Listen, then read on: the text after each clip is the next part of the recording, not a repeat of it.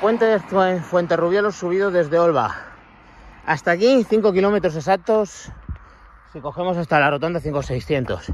Saliendo de Olva, de lo que físicamente es Olva, una primera rampa terrible al 13-14.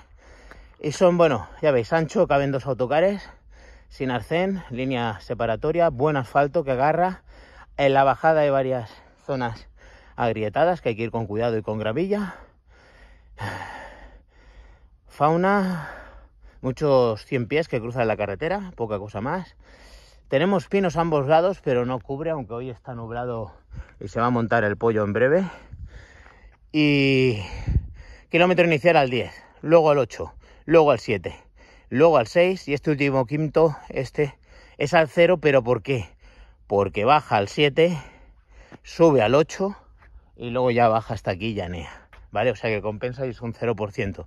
Pero no porque sea llano, ¿eh? Sino porque hay una bajadita del 7% y luego el 8%. ¿Qué más? Hay tránsito, porque esto conecta con Castellón por otra zona. Entonces se mueven. Se mueven camiones y demás de jamones que tanto circulan por una carretera como la otra para llevar para llevar los, los jamones de, de, Teruel hacia Castellón. O sea que hay bastante, bastante tránsito de coches. Te pasa un coche, pues yo qué sé, subiendo cada dos minutos te pasa uno o dos coches. ¿Qué vas a contar? Ya os lo he dicho, pinos, pero no son, no son suficientemente altos para cubrir. Y nada, es mucho más duro que obviamente Fuente Rubieros subido por, por Rubieros de Mora, que son 625 más llaveaderos. Este ya tiene más una categoría, un segunda, mientras que el otro es un tercera. Pero que se hace muy duro el primer kilómetro al 10. Te remacha el del 8 y ya luego va suavizante, suavizando para regular hasta aquí. O sea que va de más porcentaje a menos. Y la salida de Olva es terrible. Está mal asfaltado hasta que coges la carretera. Pero bueno, cuando coges la rotonda ya coges la carretera buena y ya está.